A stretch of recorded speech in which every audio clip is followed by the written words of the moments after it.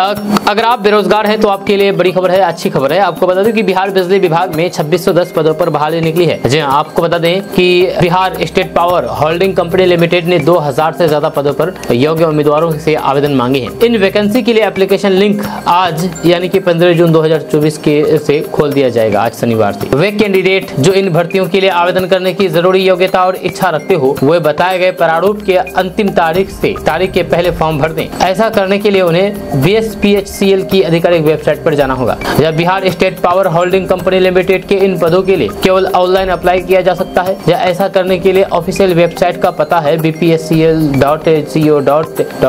इन पदों पर आवेदन करने के लिए आज से ये वेबसाइट शुरू हुई है। आज से आप अप्लाई कर सकते हैं और उसकी अंतिम तारीख 15 जुलाई है। 15 जुलाई 2024 तक आप आवेदन कर सकते हैं। इन वैकेंसी के लिए आवेदन करने के लिए शैक्षणिक योग्यता पद के मुताबिक अलग अलग है असिस्टेंट एग्जीक्यूटिव इंजीनियर पद पर बी बीटेक या फिर बीएससी करे कैंडिडेट कैंडिडेट अप्लाई कर सकते हैं। इसी तरह से सबसे ज़्यादा भर्तियाँ हो रही टेक्नीशियन ग्रेड थ्री पद पर है। जहाँ इन पद के लिए दसवीं पास कैंडिडेट जिनके पास दो साल का आईटीआई सर्टिफिकेट इलेक्ट्रिशियन ट्रेंड हो वह आवेदन कर सकते हैं।